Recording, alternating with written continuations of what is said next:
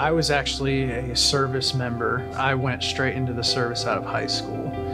After I got out of the service, I just kind of went to, you know, whatever job was good at the time. But, you know, I had always planned on going back to school, but I never actually went. It's always scary to go back at the age that I'm at because you're you know you're going to go in with a bunch of young people and you're going to be the old guy in the class. But I had to overcome that because it was better for my family and my future in our local industry. Ohio has a lot of manufacturers and they are short welders.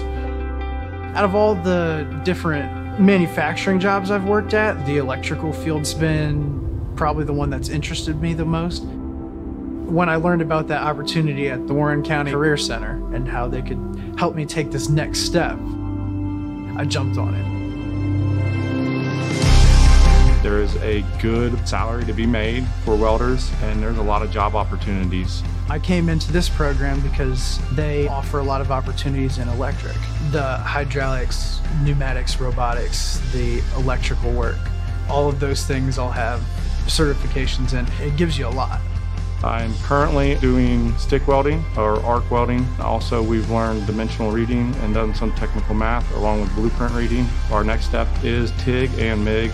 I think I will use TIG the most because of the industry I work in. I am going here currently because my employer has sent me because right now we don't have any certified welders. So TIG is key welding equipment for that industry my future is to be a certified welder at my current company.